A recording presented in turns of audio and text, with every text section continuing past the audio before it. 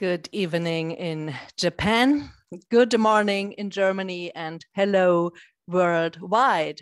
And a very warm welcome to the virtual panel discussion on Femtech empowerment through innovation which is jointly organized by the Japanese German Center Berlin, the JDZB, and the German Center for Research, Innovation and Innovation Tokyo, the DWIH Tokyo. Thank you all very much for joining us today. My name is Phoebe Stella Holdgrün, Head of Conferences and Project Management at the Japanese German Center Berlin, and it is my honor to serve as your MC today. Please let me give some organizational reminders for the audience. This panel discussion is completely held in English language, but a simultaneous interpretation into Japanese language is available. If you wish to hear the Japanese interpretation, please select the interpretation mode on your bottom toolbar and please select Japanese. Then an explanation of how to use the tool for interpretation can also be found in the manual for participants sent to you upon registration. And I briefly explained this in Japanese as well. For those who would like to use simultaneous translation function, please click on the glove at the bottom of the screen that says interpretation and click the language of your choice.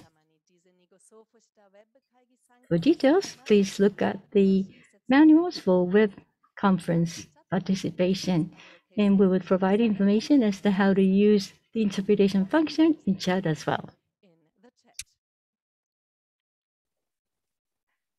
Today, the audience is muted and your camera is disabled until the QA part. Please feel encouraged to use the chat box for questions and comments, preferably in English language. In the last part of the discussion, you will also be able to raise your hand and ask questions. Please wait until the chair addresses you and then turn on your video and microphone. You can ask your question or in English or in Japanese language. The event will be recorded and published on YouTube afterwards. Please note that you or your name might appear if you use the chat or video function. After the panel discussion and starting at 6.30 p.m. Japan Standard Time and 10.30 a.m. Central European Time, respectively, you have the option to participate in informal networking in breakout rooms. Thank you. And now we start with the program. And first of all, I would like to kindly ask the Secretary General of the Japanese German Center Berlin, Dr. Julia Münch, to welcome you. You very much for giving me the floor. Dear Ms. Mahnke, dear panelists from Japan and Germany, last but not least, dear participants from all over the world. It is my great pleasure to welcome you today to our virtual panel discussion jointly organized by the German Center for Research and Innovation Tokyo and the Japanese German Center Berlin. Our two organizations share the strong opinion that we can go very far if our two countries join forces, and this applies to business, to science, to politics, art, culture, and many, many more aspects of society. The Japanese German Center Berlin, which I have been representing for about one and a half years now, uh, serves therefore as a platform for all of those who contribute to fostering our bilateral and international relations as well as to everyone interested in learning from the respective other countries. So we offer numerous networking opportunities in the analog world, as well as in digital space, and our activities range from cultural events, exchange programs and courses to panel discussions and symposia.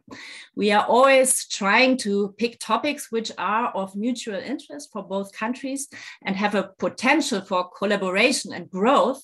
So when together with our cooperation partner, DWIH, IH, I practiced that, but it's difficult. We started to conceptualize today's event quite a while ago. Our initial idea was uh, a conference focusing on the relationship between diversity and innovation. From there, it was only a short way to come across Femtech, which we then chose as our topic today. The term femtech is short for female technology. Probably everyone has uh, researched that by now. And it refers to tech products addressing needs that especially women have.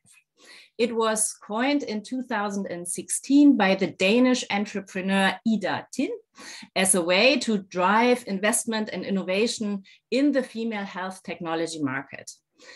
With half the world's population, or more than 4 billion potential consumers, female health is a promising market that has developed rapidly in recent years possible approaches to the topics are manifold. One of them, for example, which I find particularly interesting is the field of gendered medicine. For example, I learned that women suffering heart attacks show different symptoms than men, which means that female heart attacks are sometimes not recognized by doctors right away, as medical research used to ignore such differences in symptoms.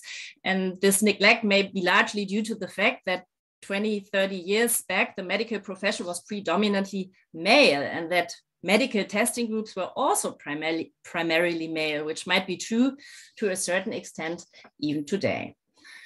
On the other hand, by the way, we have learned that elderly people are also not well rep represented in medical testing. And this is um, also sometimes a problem in dosing medications. And I think that these are, in fact, very good examples why diversity is so important. We are very happy that several scientists, but also founders and CEOs have taken the time to join our discussion today. I'm very curious about their experiences, visions, and also obstacles that they have encountered and overcome in science, as well as in business one of the obstacles may be a shortage of skilled labor, which in fact is a growing problem for many industries. One part of the panel discussion will therefore address the question why the proportion of women in technical jobs is still low, although generally higher salaries are offered than in the social sector. Another obstacle could be to receive venture capital, which is generally spoken a challenge for startups in Germany as well as in Japan, certainly more than in the US, but maybe all the more when it comes to products dealing with female health. I am personally especially interested to learn about the different approaches of Japan and Germany in this field, with the expectation that we can certainly learn from each other. What would make me especially happy would be if this event could also be a kickoff for further collaboration.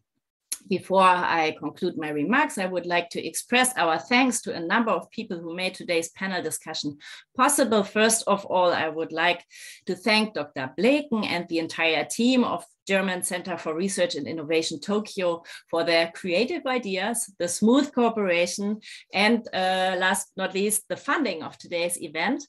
Let me also thank all distinguished panelists for taking their precious time and sharing their knowledge with us. And uh, of course, I want to thank everyone for their participation. Please enjoy. Let's continue to empower each other. And I hand over to Dorothea Mahnke in Tokyo.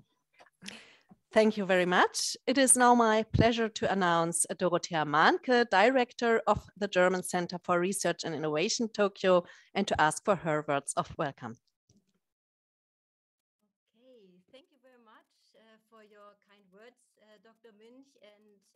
Hello from Tokyo. Um, hello to the world and hello to Germany. Dear um, speakers, dear participants, it's my great pleasure to welcome you on behalf of the DWIH, and I know it's hard to speak, um, to this panel discussion on Femtech. It's wonderful to see uh, this great uh, interest um, in this event and uh, your great participation. Thank you very much for coming here today. So as Dr. Münch pointed out, Femtech is a relatively young concept for services and products improving women's health and well-being. In other words, Femtech products are addressing the female body specifically, which is a refreshing dynamic in industry as well as in research, where the claim for gender neutrality often led, leads to the human default remaining male. So on a practical level, Femtech is breaking with taboos. We are living in a world where, for example, menstruation is still stigmatized to the extent that girls in some countries are ashamed to go to school when they are on their period. Even in countries like Germany and Japan, we rarely discuss about these topics like menopause or menstrual pain in public. We do, do so personally, and even if we do so, um, everybody is a little bit embarrassed to speak about these topics. So the femtech sector sheds lights on these issues, puts them out in the public and for discussion and seeks practical solution. However, it's not only stigmatization that disadvantages women, it's also ignorance. In most cases, the male default is not set maliciously, but due to a lack of information and perspective. Ignorance about women-specific symptoms of heart disease has led female patients underdiagnosed. As researchers of gendered innovation point out, gender plays a role in many fields. Male crash dummies and virtual existence, reproducing female stereotypes are just some examples. Of course, this also relates to female representation. As long as women are underrepresented in politics, industry, and science, the lack of female perspective will remain. This being said, we have to keep in mind that gender categories like man and woman, female and male can never represent all people in all their diversity. The problem of stigmatization, ignorance, and misrepresentation apply to women as well as to LGBT community and get even more complex when interrelated with ethnic groups. So please allow me to say a few words about the WA DWIH Tokyo. Now I also get confused about my own organization. So the DWIH Tokyo, the German Center for Research and Innovation, or in German, the Deutsche Deutsches Wissenschaft und Innovationshaus Tokyo was founded by the German Foreign Office. And we are provide, providing a platform for German research and innovation in Japan. We are holding many events throughout the year, such as this today, and we uh, want to connect experts and stakeholders from Germany and Japan with the um, general public. And I would like to invite all of you to connect with us on LinkedIn, on Twitter, or to register for our newsletter. So dear uh, colleagues from the Japanese German Center Berlin, thank you very much for this wonderful collaboration in organizing this event this time and also in the past. It's always a pleasure to work with, together with you and dear distinguished speakers. Thank you so much for making time and for sharing your insights with us. And I'm looking very much forward to the discussion today. Thank you. Thank you very much, Dorothea. And now I have the pleasure to hand over the word to Dr. Laura Blecken, Deputy Director of the DAAD Regional Office Tokyo and Program Manager of the German Center for Research and Innovation Tokyo, DWIH Tokyo, who will kindly chair the panel discussion. Laura, please. Thank you very much, Phoebe. So as we just heard in the greeting words, the term femtech was actually just coined eight years ago in 2016. But last year in 2021, analysts already counted more than 1,300 femtech companies worldwide. More than half of these 1,300 companies are located in the US. Europe has the second largest share with about 24%, and Asia is home to only 14% of the femtech companies. However, there is um, tremendous potential seen for future growth, especially in Asia. On the other hand, there are also a lot of bottlenecks we have already heard about. One is about investment. This also is due to the reason that still until now, more than 90% of venture capital decision makers are male, and therefore they do not necessarily have an open ear for women's needs. Another bottleneck lies in the research.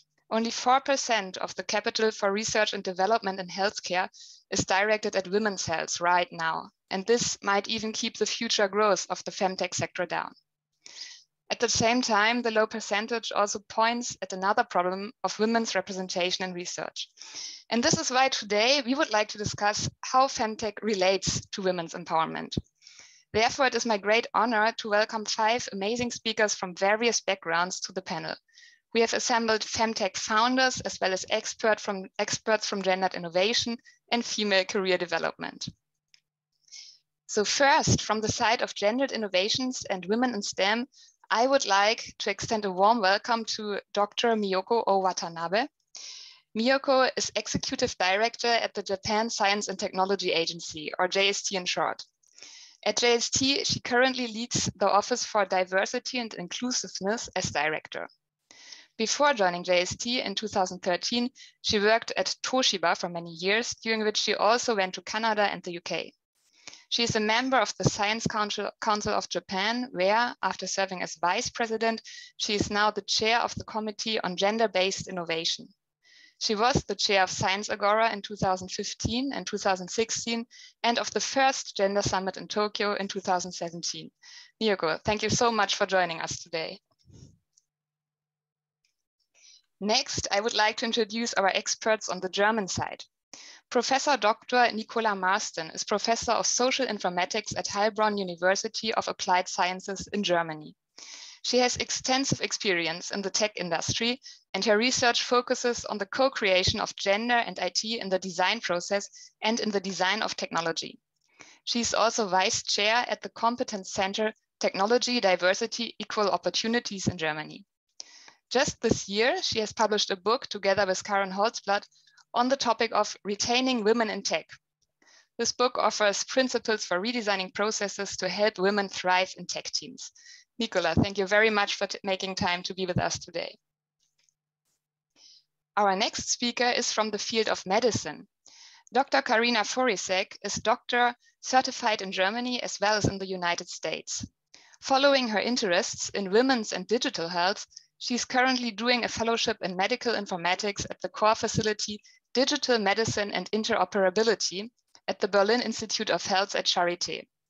She completed her PhD thesis at Boston Children's Hospital, had clinical rotations at Harvard Medical School, and was working clinically in obstetrics, gynecology, and general medicine in Germany. Karina, thank you very much for joining our panel today. And now it is my great pleasure to introduce two founders of femtech companies in Germany and in Japan. Dr. Amina Sugimoto launched the startup Fermata in 2019. Today, Fermata provides a marketplace for a wide range of curated femtech products and services. Headquartered in Japan, Fermata also has a branch office in Singapore. Amina was born in Asia, raised in Africa, and educated in Europe. She actually did her bachelor program at Jacobs University Bremen in Germany. She obtained a Doctor of Public Health degree at the London School of Hygiene and Tropical Medicine. Before launching her own startup, she joined the social impact focused venture capital Mistletoe Fund as healthcare innovation producer and specialized in health policy, pharmaceutical affairs, and health tech startup support. Amina, thank you very much for joining our panel. And finally, it is my great pleasure to introduce Peggy Reichelt. Peggy founded X by X Women in Balance in 2019 supporting midlife women in their journey through menopause and aging healthy. X by X offers video and audio programs that help women understand their bodies and the impact of nutrition and lifestyle changes. It also offers scientifically formulated plant-based supplements developed with medical experts, experts specifically for women over 40 to soothe physical and emotional realities of menopause. Peggy is an experienced entrepreneur and passionate digital female health and nutrition expert. She start, started her own, uh, she started her first company in 2004, wrote two books, and is a licensed food coach. Peggy, thank you very much for joining us today. Right, so now um, before we start the discussion, as we have assembled speakers from so many diverse and various backgrounds today, I would like to take a look at each of your fields separately first.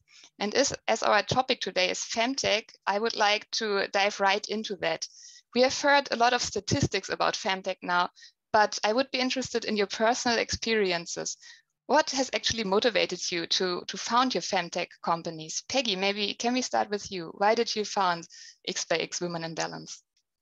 Sure. Thank you for the word. And I'm, I'm really happy about this panel because I think femtech and female empowerment is still like a very underserved um, market. So my, my motivation was actually very, very personal. Um, I was very interested in the fact, how can I personally age healthy? So I'm turning I'm 47 in a couple of days and uh, I had my grandma, she was suffering from Alzheimer's and you know, I was thinking like, how can like a woman arrive in her 80s, 90s without boundaries, being like independent, physically, mentally fit? And um, how is this going to happen? And when you look into this, um, how we age, then you suddenly, at some point in a woman's life, you stumble about menopause, which basically happens in the middle of life.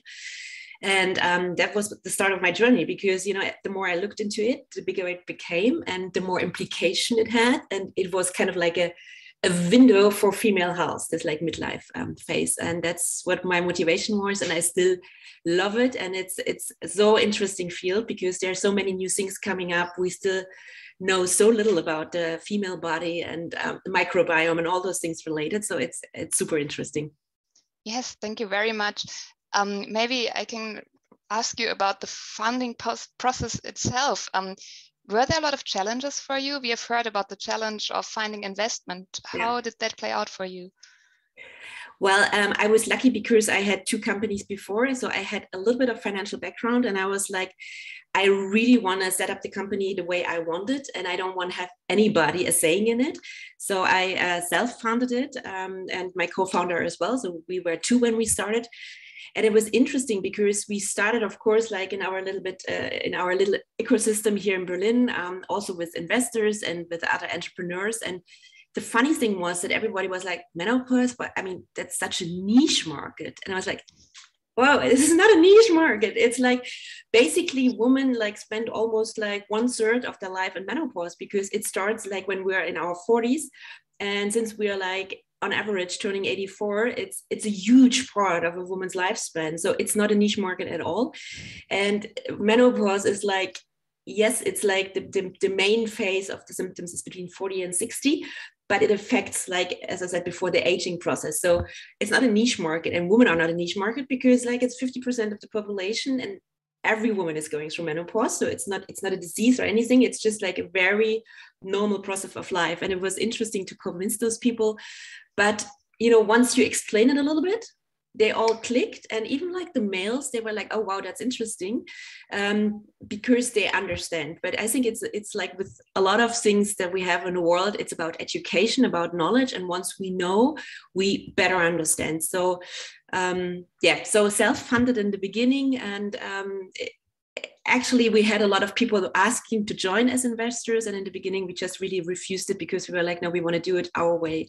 So i didn't really had this um, this problem to find funding um, but i think it's also like whether you're experienced and you have your network. So i think the network is, is a pretty big part. So um, if you're new to the field and you haven't founded a company before you don't have a track record then it's certainly even more difficult for women and certainly more difficult in niche markets um, like femtech. Yes, thank you very much. Um, let me pick up the word network because I think that's also very important for, for Fermata, Amina. Um, but before we um, we talk about that, could you tell us about your personal reasons why you started your startup uh, Fermata? What led you to found yeah, it? it's, it's pretty interesting um, because our work now focus on women's health, femtech. People kind of assume that my primary focus was on like motivation was around women's health.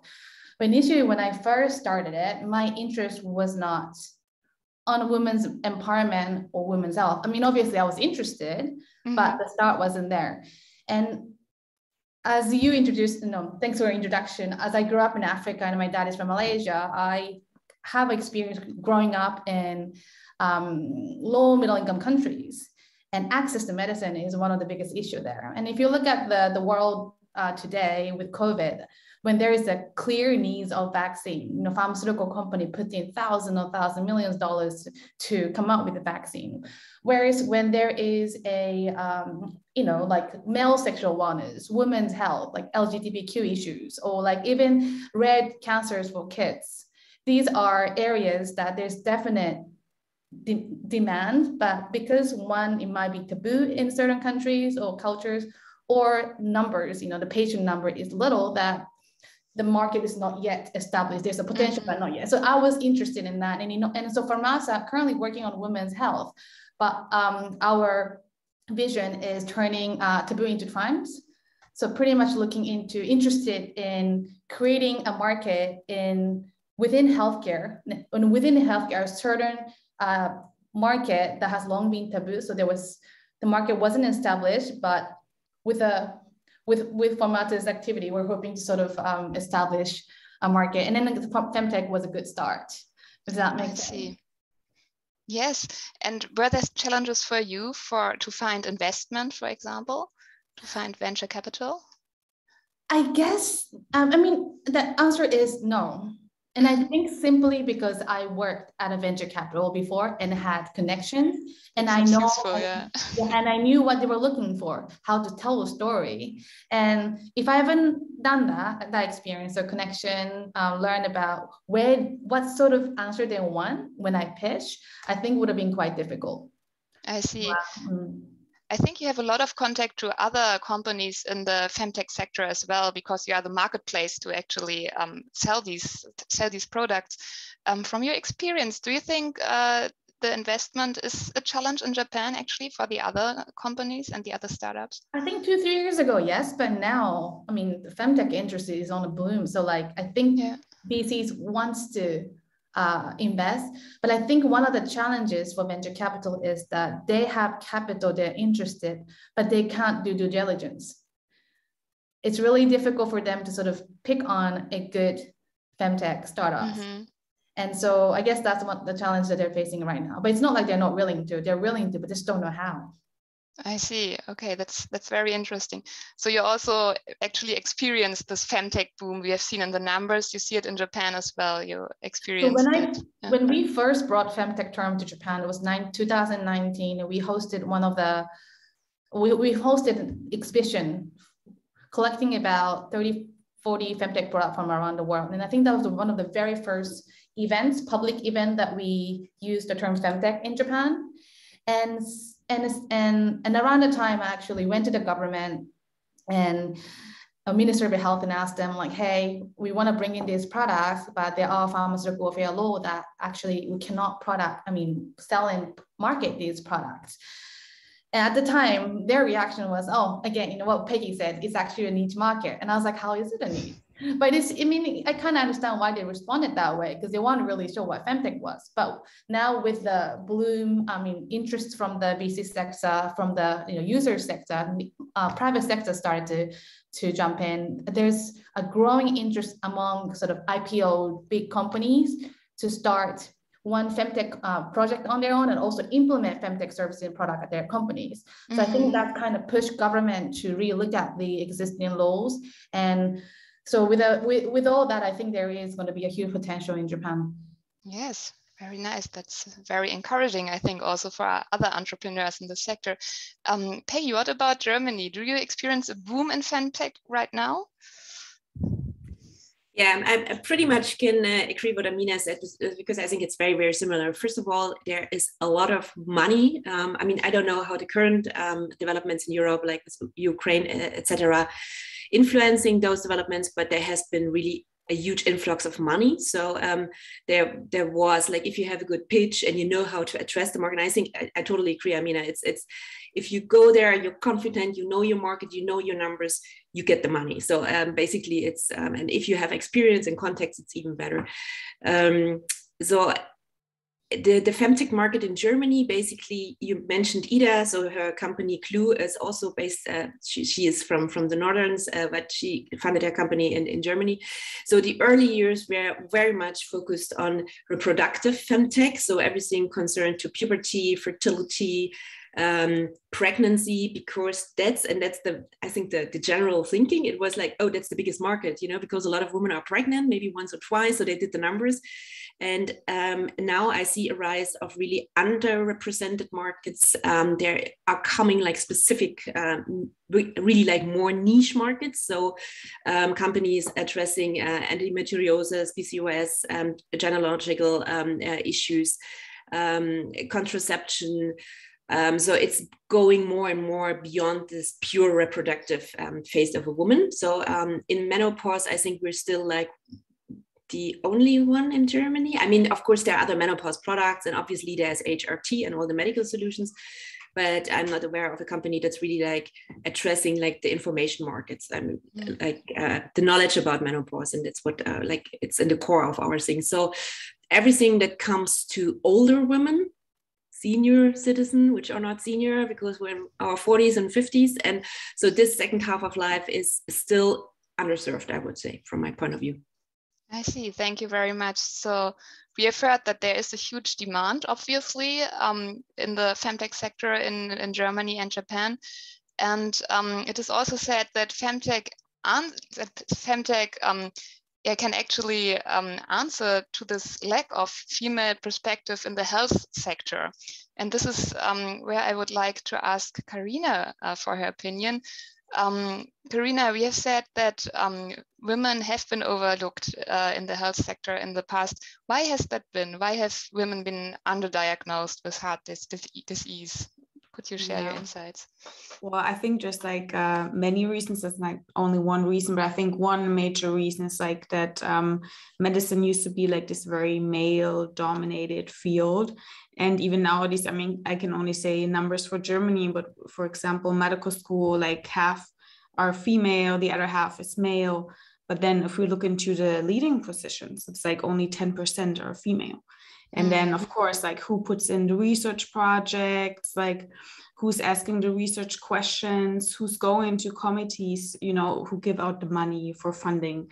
That's all the leading positions. So it's like still mostly men. And um, i was working in obgyn and if you look like at those developments and achievements and then you go into a field of urology you know it's like so different and um, I also used to um, be in pediatric cardiac surgery before, which was like a male dominated field. So um, there was like all males. And then you go into OBGYN and there's like a lot of women, but they're all like residents. And then, you know, if you're at a conference, like just like mostly male, um, like speakers.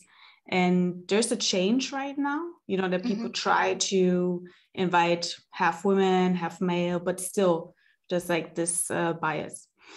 And then, of course, uh, we have like mostly male data, like in clinical trials. I think they started in 1993 to allow women even to go into clinical trials. Even even nowadays, like it's like mostly male um, participants in clinical trials. We also have like mostly male data, and just now we're trying to ask these questions. Yeah. yeah. Uh, let us talk about that a bit um, because it has been pointed out for some time now that um, we need data about women and that and that women have to participate in the mm -hmm. medical trials. Is, didn't it change in the past? Don't you see a major movement well, there? Yeah, you could think, but then the study came out, which was like very interesting. They looked at um, all COVID uh, studies that were registered in clinicaltrials.gov, so clinical trials on COVID 19 and they found that like uh, only 18% of the studies looked into like gender differences in their analysis. And i mean that's like like the most recent um, disease like the whole world was engaged in and still like only 18% so i would say the awareness is uh, you know raising up now um, but it's still not there yet yeah we're still lacking the data I see. And I read a lot about gendered medicine in recent years. So, um, how much is that actually applied um, at the universities today? If you if you learn, uh, yeah, if if you are at university and you learn about your patients, do you actually take this gendered perspective and think about gender? Do you learn about that, or would you say that's still a uh, long way? Like it's, it's still not in the education schedule for mm-hmm. medical doctors. And but that's where we really have to get into. That's why like even the awareness is like so important um, also through femtech um, you know so that um, we're starting at the very base like at the medical students so that they even know there's like a difference because like most medical students wouldn't even know that and let, let alone like the doctors that are like practicing right now. And i think you're very lucky as a patient if you have a doctor who who's like oh ibuprofen you know maybe we should check like if there's a difference between uh, men and women. How do they mm-hmm. react uh, on this medication? And um, yeah and then of course there's you have to do a lot of reading as a doctor because like this is not provided in a general information.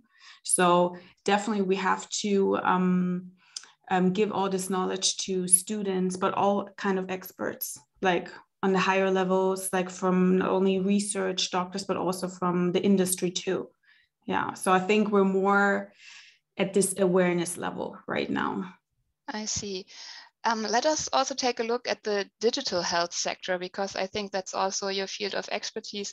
Um, are there any recent developments uh, looking at female representation in the digital health sector?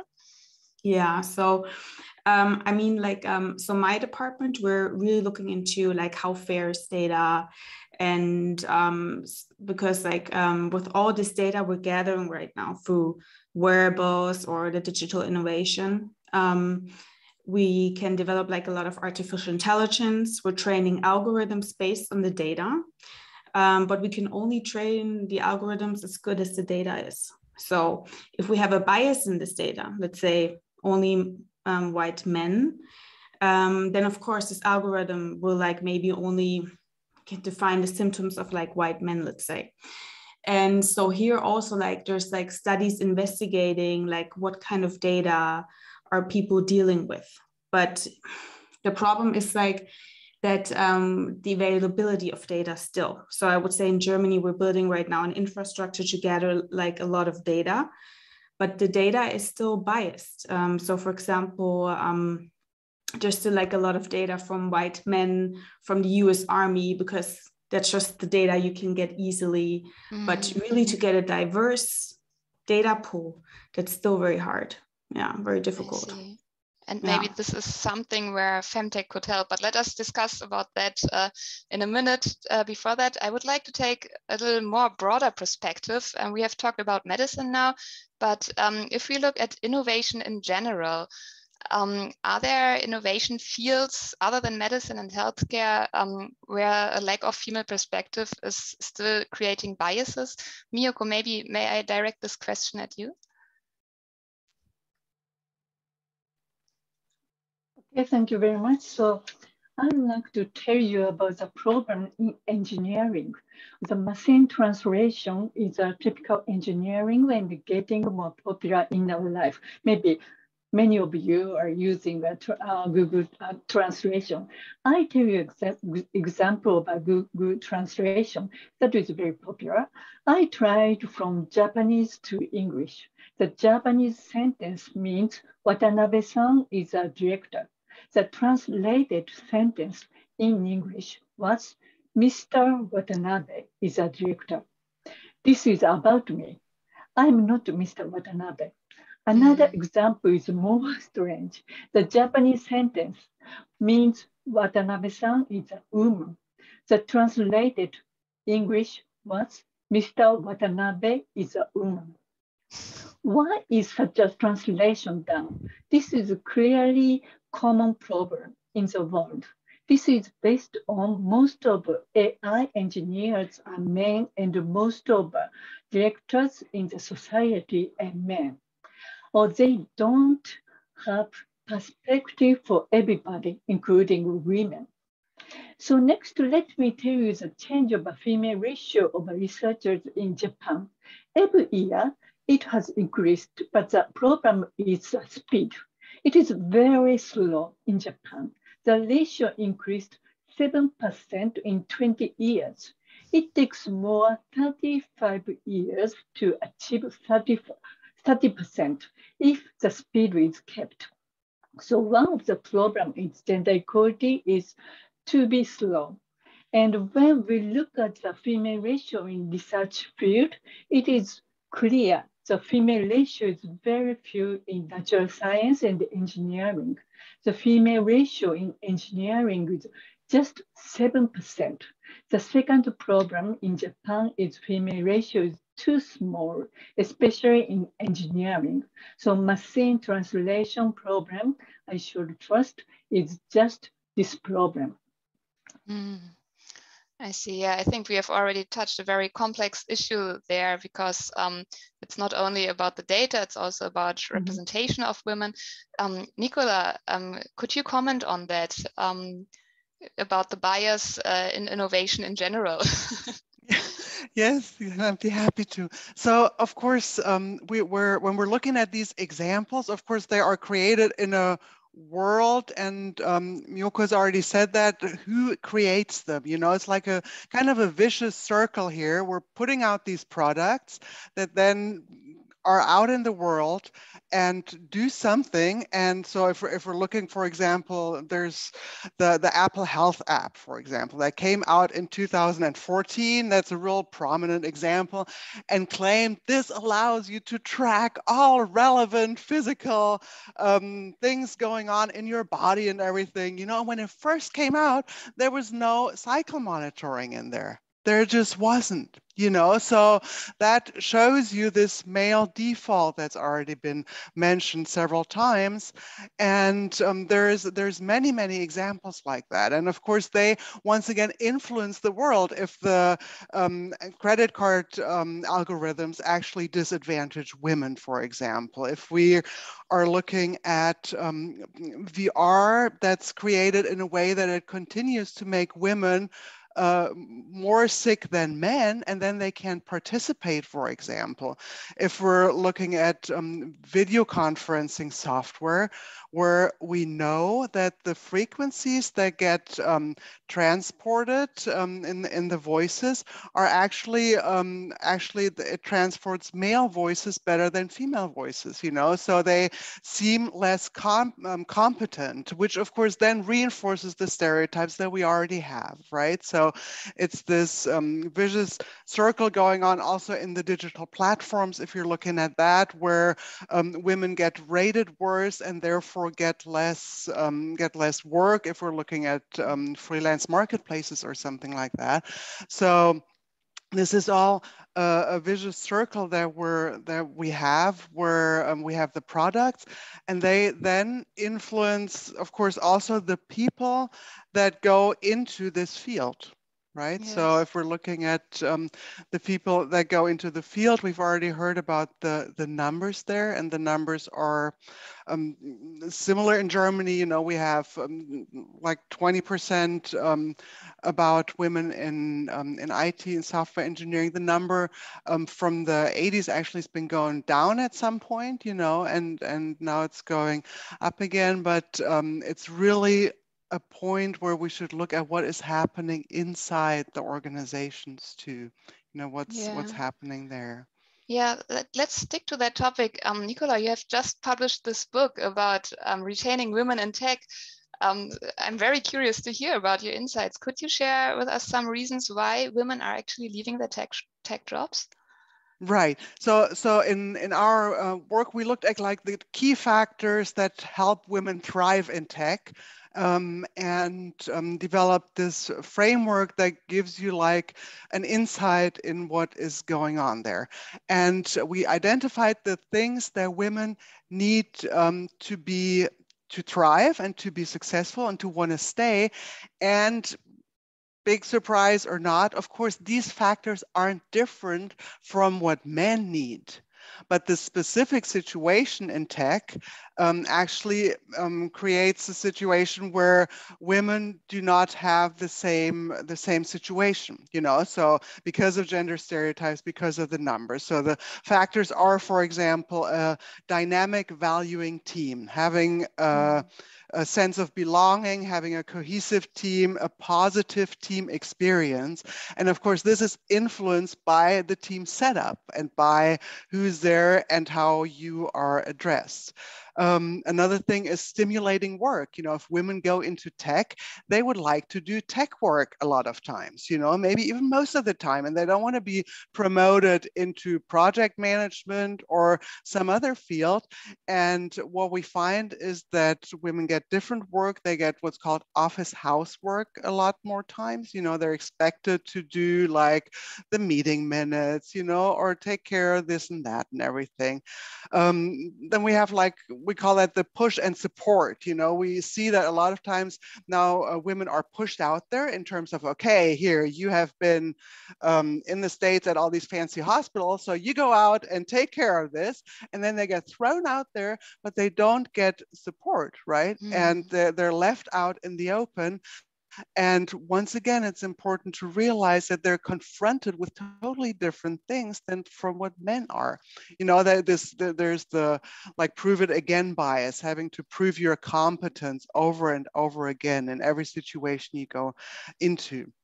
Um, the the next thing would be like role models. There's there's not as many role models. This also creates a different situation.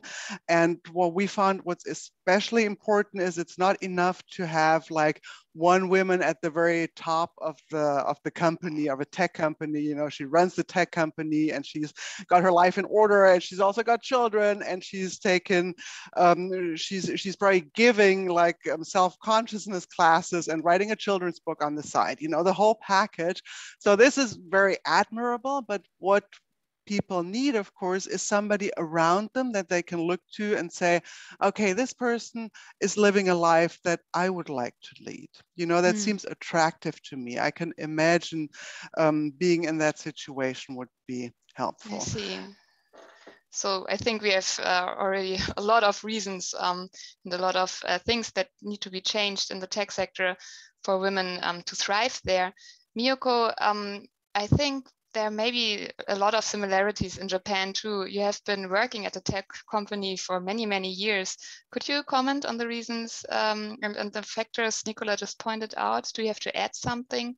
Why is it difficult for women in tech in Japan right now? Oh, yeah, the situation is very similar in Japan. Uh, the role model program and uh, uh, young girls would like to uh, see the very near uh, young girls rather than the top level uh, women's uh, leader. And uh, let me explain the essential problem why Japanese gender equality is not progressed rapidly. This is a very essential problem. Uh, Japan, Japan succeeded in economic growth from 1980 to mid of 1990. It was said Japan as number one.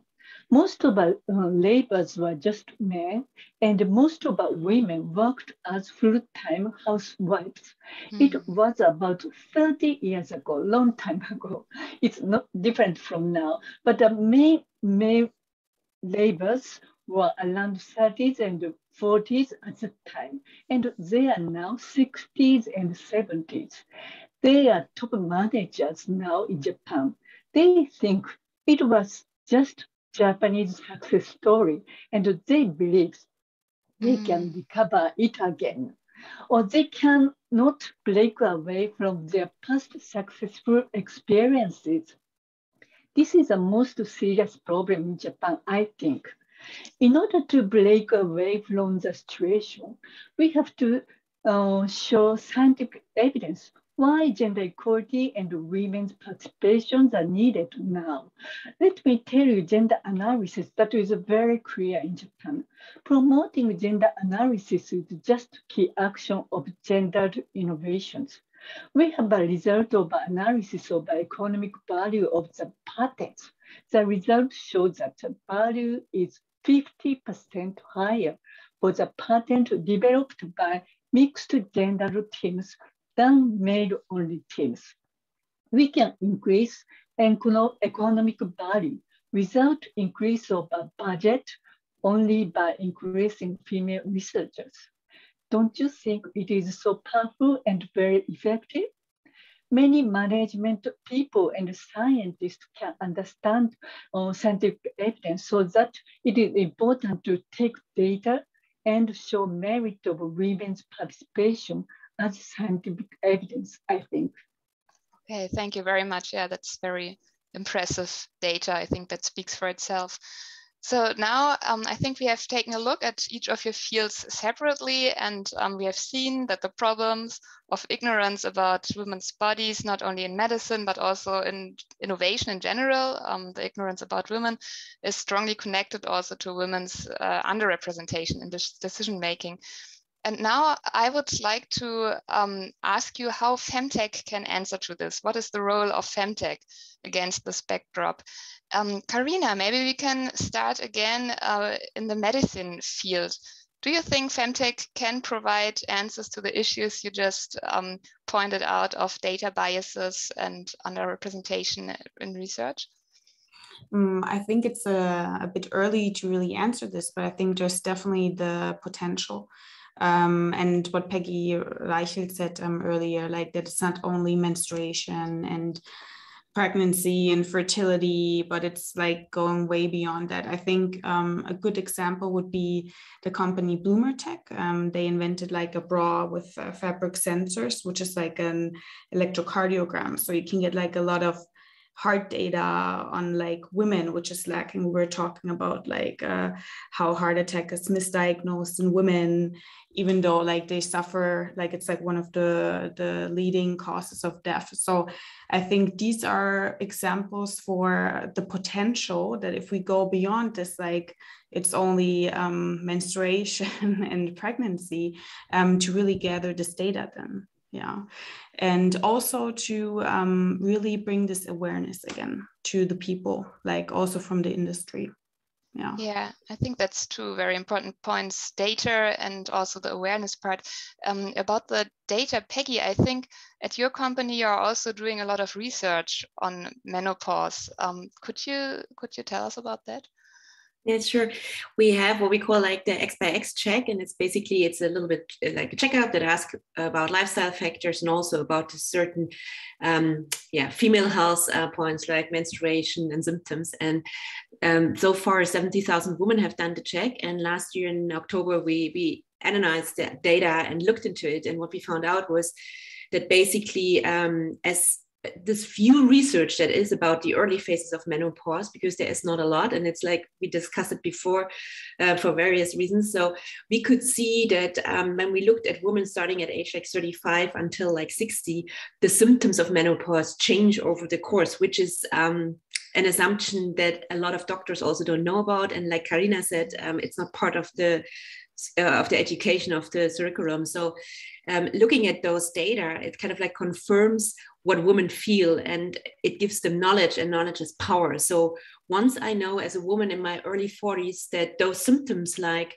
lack of sleep, um, mood swings, depression, um, low energy, like reducing resilience are not because I'm crazy or I'm not capable of my life anymore, but they're due to the fact that my hormones are starting to change then I know and I still feel the symptoms, but I'm empowered and I can do something about it. And this is like the power that data has and all the other things that we said there's like um, data bias that we have when we develop technologies. If you use the wrong data and we for example in like let's um, take my example of the menopause.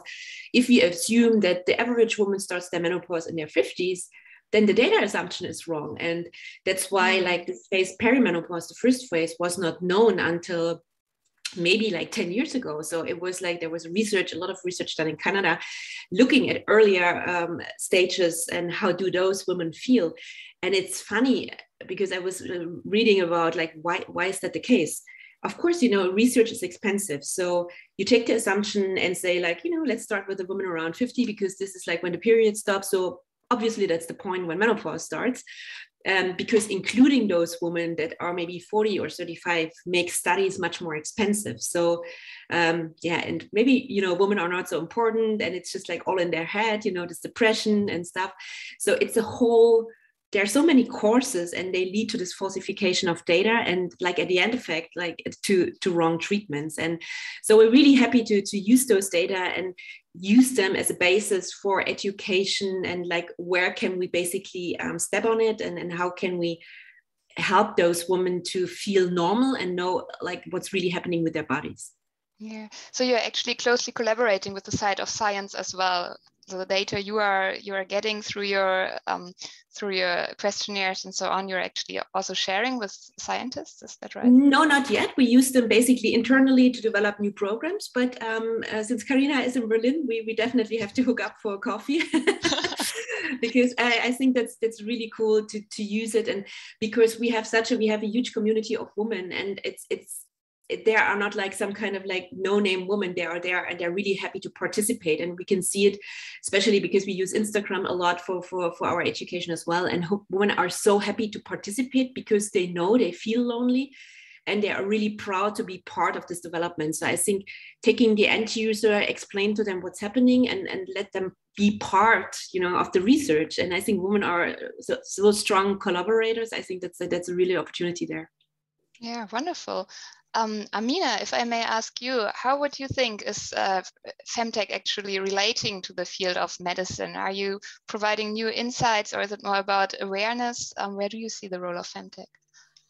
I guess the role, or rather the power of Femtech is not just on data. I'm just, I'm not going to talk about data because there's a plenty being talked about, but I think it's one of the first time in human history that a lot of physical products that basically sort of represents um, specific issues that women go through in a lifetime. And I guess what's really important to clarify here is that femtech is is is a, is a field that only not only but sort of focus on biologically defined women, right? So it doesn't necessarily means that how he or she uh, represent themselves within the society, but then those who were born as uh, as a with a female body. Now, I guess when I first brought Femtech, uh, when I started doing exhibition, one of the first thing I found is that people can actually talk about start. People can talk about their own personal issue when there is a physical product in front of you. Mm. For example, a menstrual cup. It's not a femtech. It, there's no tech into it. But then having the product in front of them, and even by discussing like, oh, how much do I bleed? And that amount that's maybe if I thought it was normal, that bleeding amount compared to my friend who just think that, oh, I actually bleed more than that. So being able to compare, being able to discuss, and I think that's the power uh, of Femtech. And, it's, and by having this product, then we can actually start having a conversation with those who uh, ha- were not born with a female body. So like, like um, so like I usually bring this product to politicians, investors, and having this product in front of us actually allow us to have a conversation around, and and it, it no longer becomes a taboo topic. So yeah, I think it will um, it will take time. So until we actually shift to the level where we can actually start to collect data, analyze data, get all the result from um, from what actual vital data we can collect from Femtech, it's going to be it's to take a next you know two three or five years time. But I really hope that by then we no longer be using the term femtech anymore. It will just become a part of health tech, and that data will be generated. But until then, we have to use you know physical product uh, within femtech sort of industry to sort of educate, be able to talk about these things, um, create an environment where people don't feel shameful to talk about a taboo topic. Yeah. Yes, I don't know if I have answered your question, but yeah. Yeah, no, that's very interesting because it's also a question I wanted to bring up. The term femtech excel, it's, itself is a bit controversial. There has been critics that um, by labeling something as femtech, you're automatically saying all the other tech is, is male tech and you don't even have to name it because uh, femtech is a niche you have to label separately. Um, but you already elaborated on that a bit. You said um, right now maybe we need it, but in, in some years uh, it mm-hmm. might not be necessary anymore. Uh, could could you explain a little bit more about that? Why is it important right now to have the term femtech? So I, th I think people just need something that they they can sort of um, they'll feel. So, so sorry, going back, the term femtech, what's being used in Japan is a lot different from the West, and I think it's quite interesting. When I first brought femtech um, two years ago, in the beginning, younger sort of generation started to use the term using Instagram. And then mm-hmm. all these uh, fashion magazines started to pick it up. So it wasn't really like industry thing. And people started, because Japanese people, 90% don't really speak English. So people started to use the term as more like a way to express that there's a need and, you know, um, about their body or like menstruation, fertility. I feel I want to be able to talk about these things. And rather like the voice of younger generation, it became a movement and mm-hmm. it rather became a sort of a trend here in Japan. And nowadays, uh, every single mag- fashion magazine probably have used the term femtech. Now, what actually defines femtech in the Western term in, in English is a lot different from what's being used here in Japan. Um, but I guess I guess that's sort of the the trend here and so could, could yeah. you explain about that a bit more like on a concrete example could you think of a product that's um, labeled as femtech in japan but uh, not in germany or in the us so uh, period underwear menstrual products uh, um, uh, femcare products for some reason mm -hmm. those are now sort of considered uh, the femtech I think it's the most yeah most famous example are these these uh, underwears um, for period pants. Yeah. And I guess a lot of the, the scientists, um, doctors, they all. I mean, I, I have some a doctor working in this field that claims that we need more evidence in women's health, and in order for this interest to grow, we have to, it has to be evidence based. The product has to be evidence. I mean, I do understand that, and but at the same time, I think it's important for this work to be recognized by um, by the public. So quite a lot of people know about the term femtech in Japan. In Japan, every year they list up um, term like 10 different words that became most popular in the year and femtech was named one of them was nominated as one so i think it's a good start recognizing representing the, the, the social issues under the term femtech and then because there's a tech side to it, not just the uh, younger generation or like those who's into you know Instagram uh, use, but at the same time, it's also attract capitalists and venture capitals. And so in a way, it's sort of in, being used. There are two different definitions now in Japan, but hopefully it will sort of emerge into one in the next couple of years. And then the term itself will, will disappear in the next five years time. See. Um, Nicola, maybe may I ask you from the background of, of Gendered Innovations also, what do you think about the term femtech? Do you think um, it's good that we have it and that it's booming right now? How, how you, would you see the role of, of femtech as a movement right right. Now. well yeah right. I think i mean i think it's good that we have it right now for for reasons that have been said.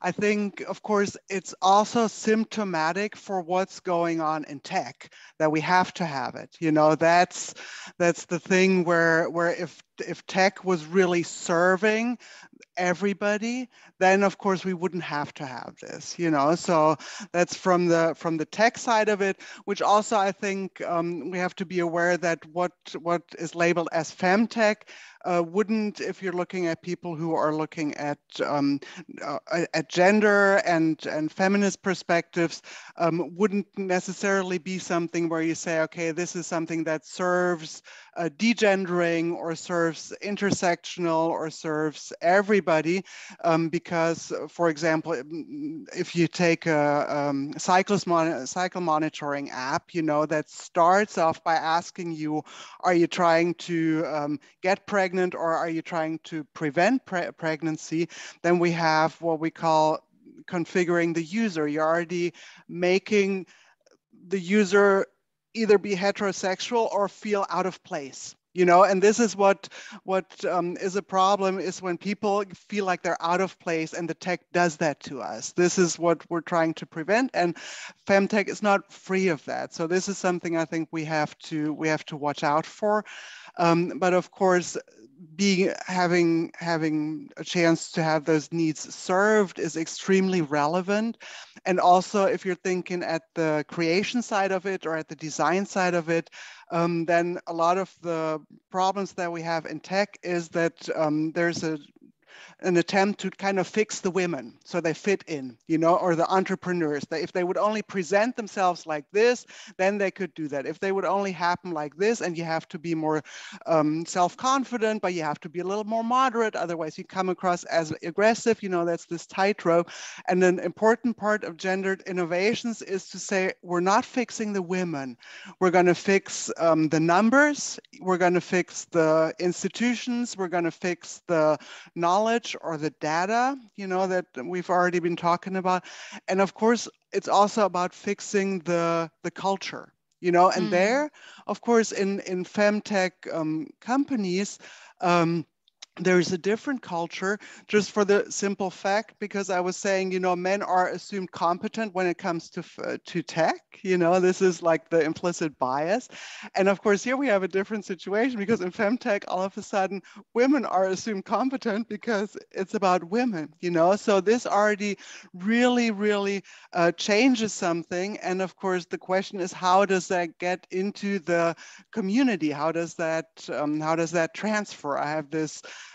um, memory of a tech conference I was at with a, you know, there's these poster sessions and then you stand there in front of your poster and people walk by and I was presenting a poster on um, biofeedback devices for incontinence for older women, you know, it was specifically older women. And um, so I, I, was standing there and people kind of walked by and you could just see these um, young men that came came closer and were interested and then they saw like um, intravaginal probes or something like that. And then they kind of stepped back and walked over to another poster, you know? So if you're looking at the, the culture, they're both in the companies, but also in, um, in the knowledge producing uh, world and in academia, um, there's still a lot of uh, fixing to be done. Let's yeah. just say it that way.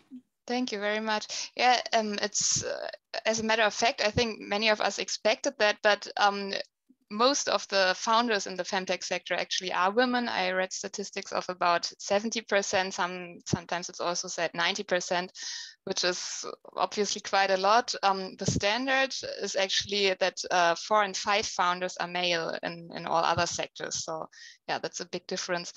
Miyoko, if I may ask you about the Japanese side, how would you think um, the tech culture in Japan will change due to femtech? Will there be more women representation? Yes, oh, thank you very much. So um, most of our engineering and the technologies are developed by male researchers and, and engineers. Lack of female perspective is clear. In order to change this situation, we need to incorporate female perspective and value most of women think into engineering and technology. So Femtech is a typical technology to break through the present situation. So, and femtech engineers and um, female engineers and female researchers should be femtech or innovators. It is necessary to remove our unconscious bias or that engineering and technology is a men's field. Or it is also important and it is also necessary to show um, young active women active in the engineering field and uh, technology field to high school girls, teachers, and parents. Senior women, including me, cannot be role models because the historical background are very different from young girls. So it is effective to introduce young women that they feel close to. Yes, thank you very much. So I think um, it's again the topic of role models that's very important here. And yeah, we are happy to have also two founders with us today who will play uh, great role models, I think.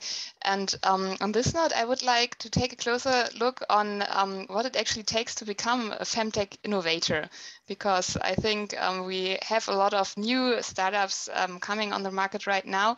And um, we would be interested in what kind of people are those uh, who are founding these um, startups. Peggy, could you could you tell us about your colleagues? what drives them? Drives them. Um, well about the founders i would say like in general and i think there is no difference between femtech or prop tech or fintech or all the other areas.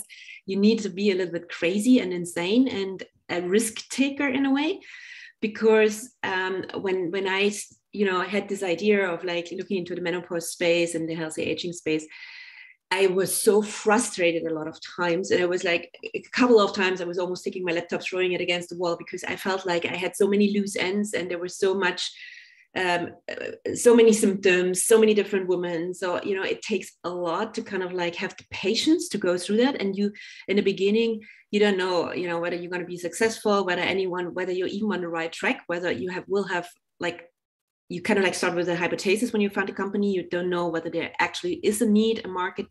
So you need to be a little bit a risk taker and a little bit crazy and you need to be in my opinion um, passionate about what you do because this kind of like keeps you rolling so um, I had a company, a different company before, and it was a little bit more about tech and gaming. And honestly, I'm not a gamer, I'm not a techie by heart.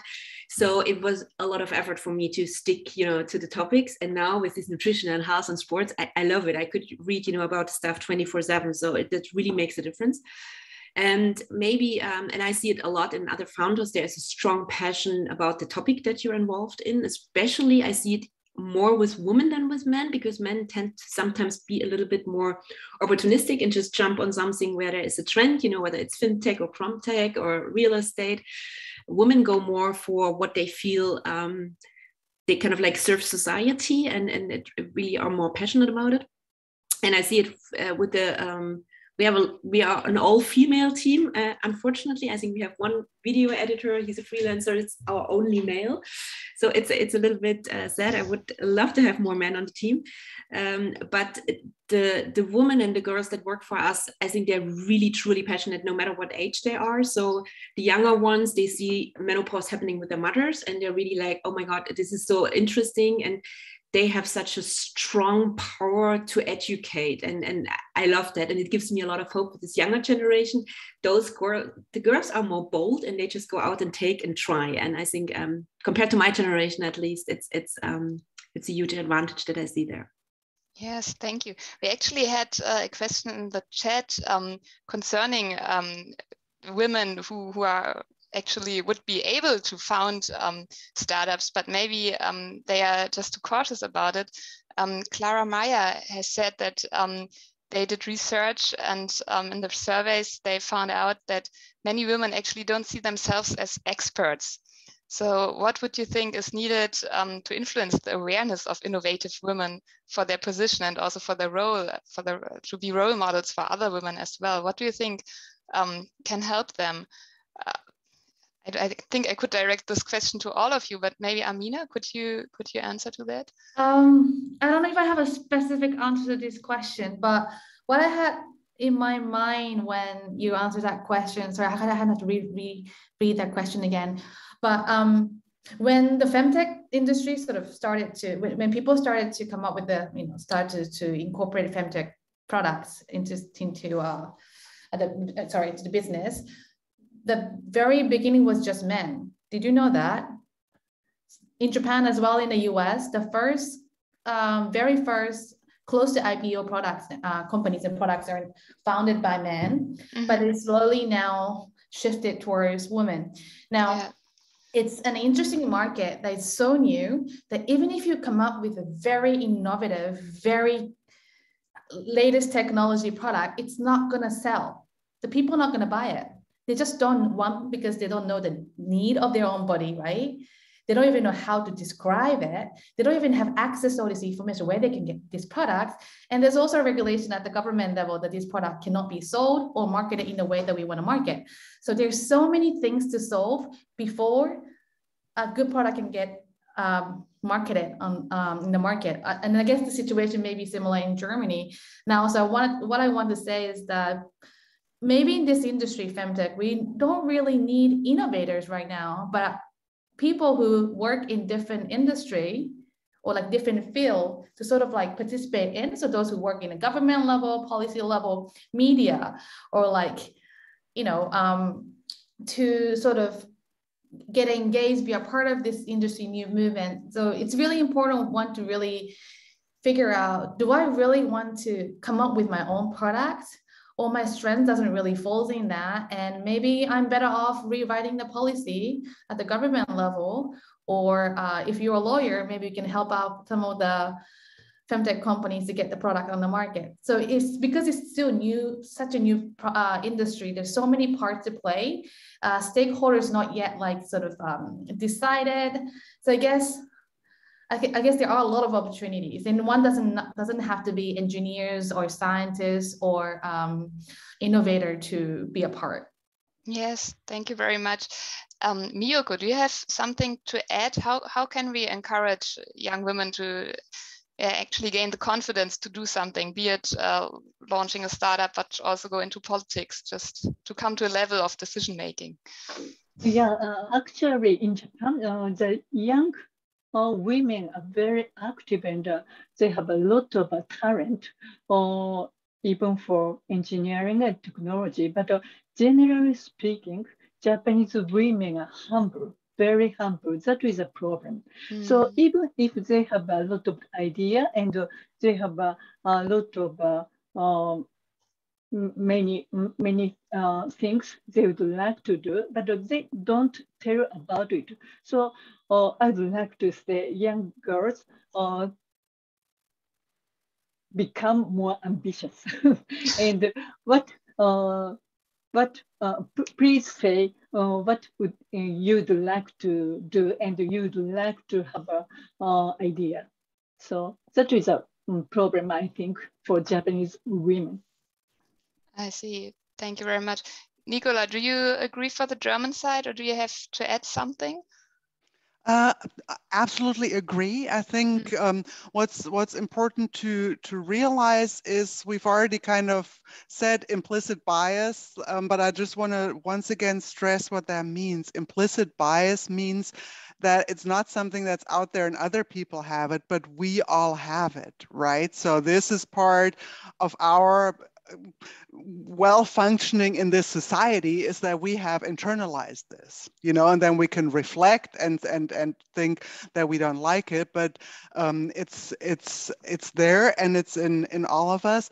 And of course if we're if we're looking at um, okay women don't see themselves as experts and if we're looking at how do how do people get into it it's really important to look at early years education grade school education you know and and here there's um, there's so much um, going on there that reinforces these gendered stereotypes you know in the perception of teachers in seeing potential in children.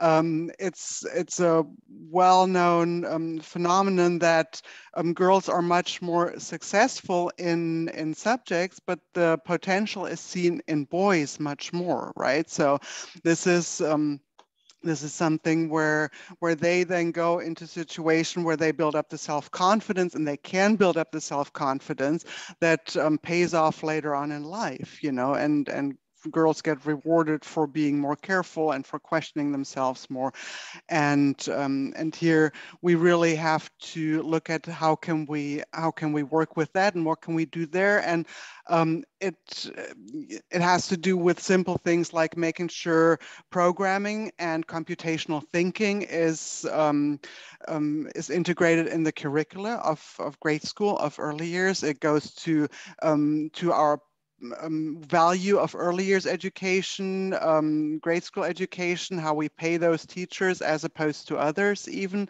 um, but also in terms of what actually is tech and what's not tech. You know, we've already kind of talked about this as if it's a, an obvious um, opposite, but um, but if you look at it, it's really not. You know, it's a continuum, and um, what is um, what is deter or what is um, identified as tech is very much connected to what's identified as male, whereas what's um, non-tech is uh, is correlates with our perception that something is female. You know, mm. and that's why in the in the education we're looking at making activities. We talk about computational thinking and um, we're really trying to to see how can we um, get away from this dichotomy. So mm, one important thing to realize is that if you're looking at um, learning how to program we know that um, language capabilities are a much better predictor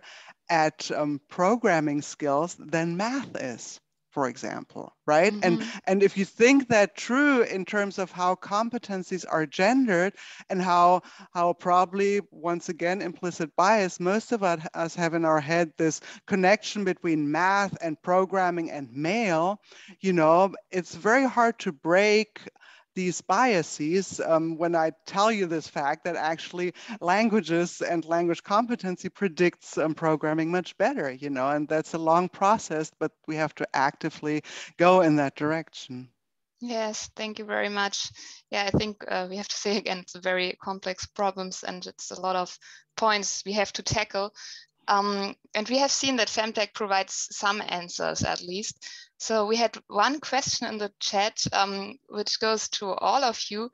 Um, and it says, um, it, it, was asked by Axel Karpenstein in Germany, and it uh, was uh, asked, what would you say is the one most important measure to, ta uh, to take to promote Femtech?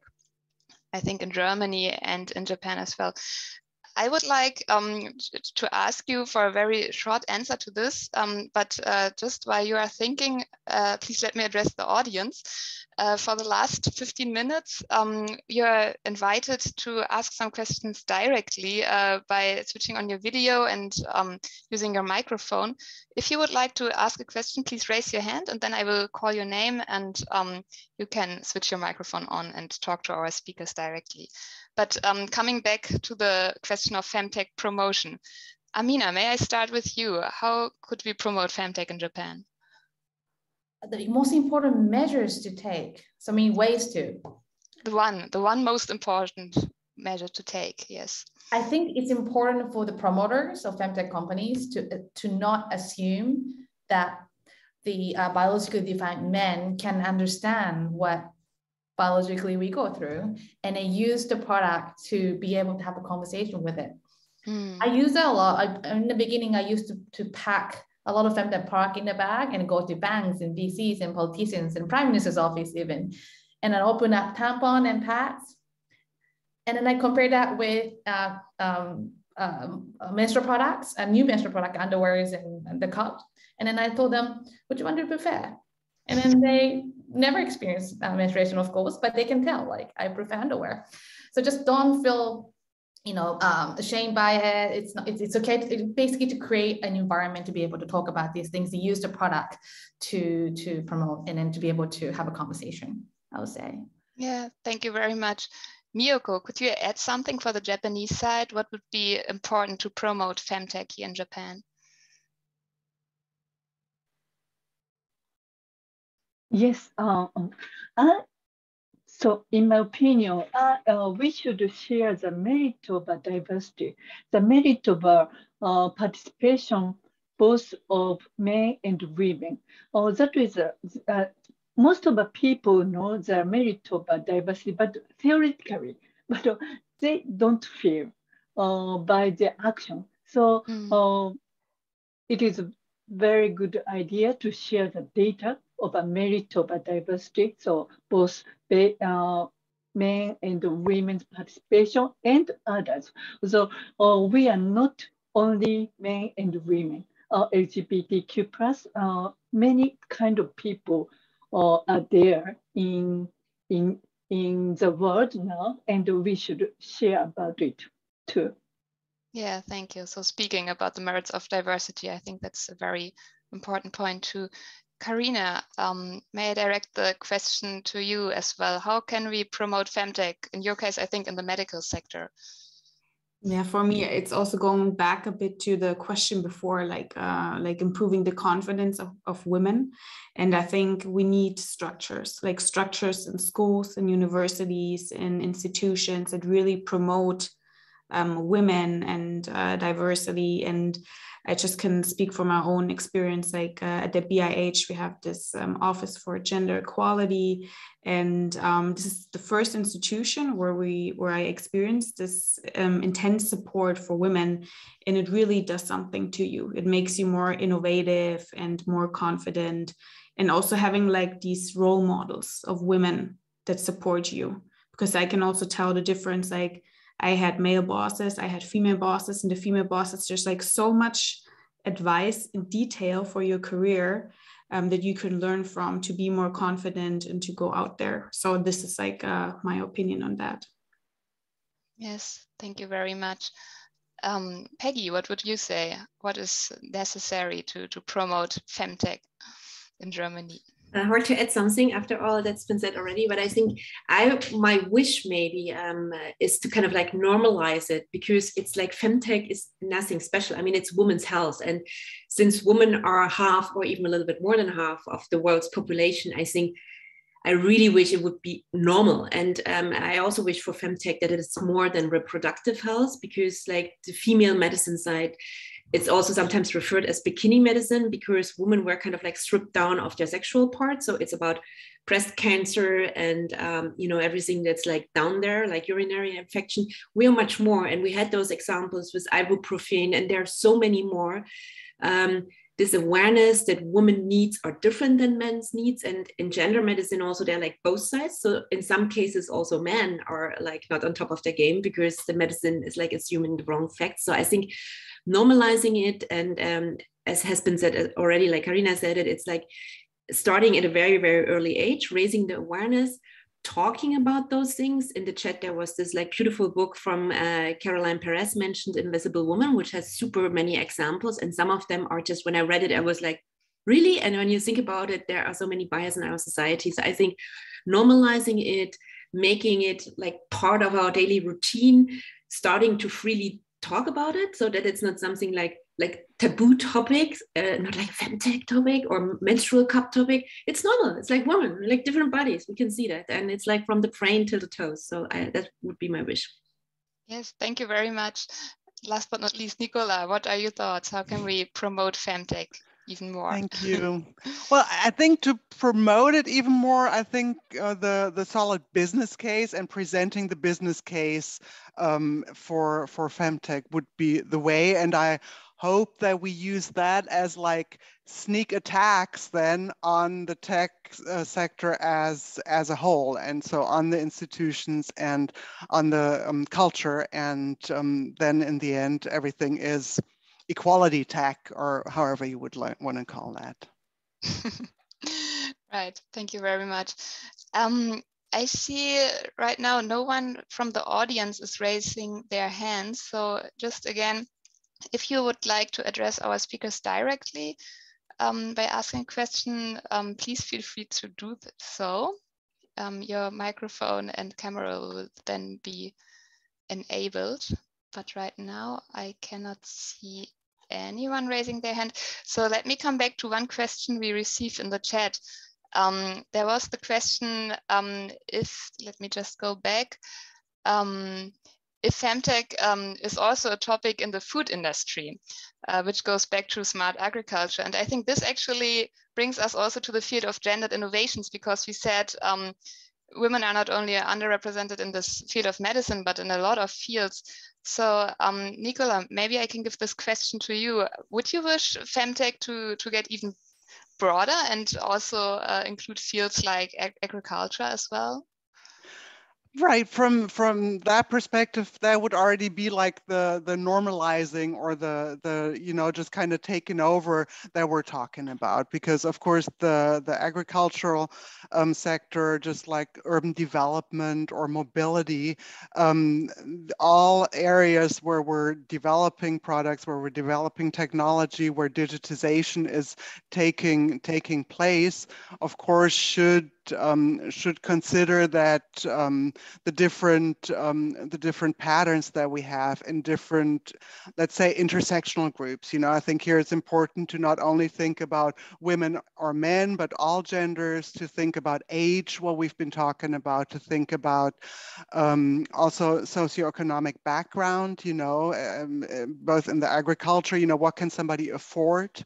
Is, is a relevant is a relevant point here. And and all these factors um, need to be taken into consideration in the in the development processes that are taking place there. So absolutely yes. And that's that's really what um, gendered innovations is all about to really make sure that um, that methods um, that um, look at sex, that you know, in terms of biological factors, gender in terms of um, societal factors, and then intersectional analysis um, are used to create new knowledge, to create um, practical methods of how to improve the situation um, for everybody. Thank you very much.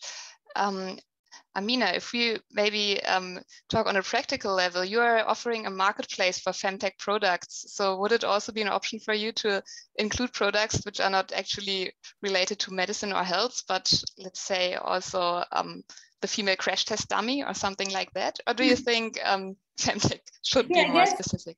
I guess for the B2C business, we're uh, providing, you know, so to say, a female um, a wellness product for uh, for female women. But we also work B2B, big uh, corporate companies, and I can't disclose all the name, but you'll be surprised to see the list of, of multinational Japanese companies, not just from the tech sector, but like food sector, drink sectors interested in entering into femtech.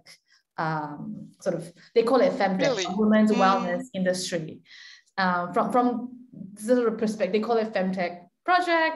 There's not so much tech tech data aspect to it, but then I think there will be a huge potential, and I think people started to, I mean, big corporates started to realize that there is a huge sort of blue, it's, it's a blue ocean, right? The market um, that has, hasn't been addressed. So it's not just going to be a startup um, that going to be big. I think there is going to be a blowing uh, new sort of market uh, interest for big companies as well. That includes food industry. Yeah, great. Thank you very much. Um, that's very inspiring to hear. So um, looking at the time, I think we have to come to an end. Questions are actually coming in right now in the chat. I'm sorry, we cannot address all of them. I saw there was one question um, about how the normalization could be expanded to a global scale.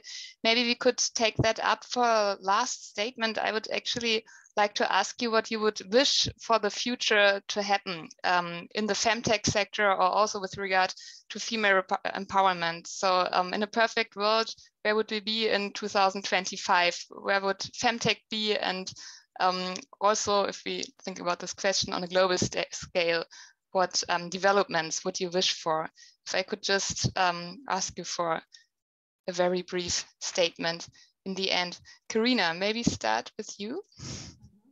Well, I will start, uh, of course, again with the data level. So my perfect future would be we have regulations where we're not even talking about was gender a topic or socio-demographic issues or ethnicity, but it's like really there. And I think, uh, for example, countries like Afghanistan, that's a good hint when we're thinking of all the data coming from wearables now, you know, in countries where like maybe women don't have the access to an iPhone or like a smartwatch. So that we're like also thinking about that.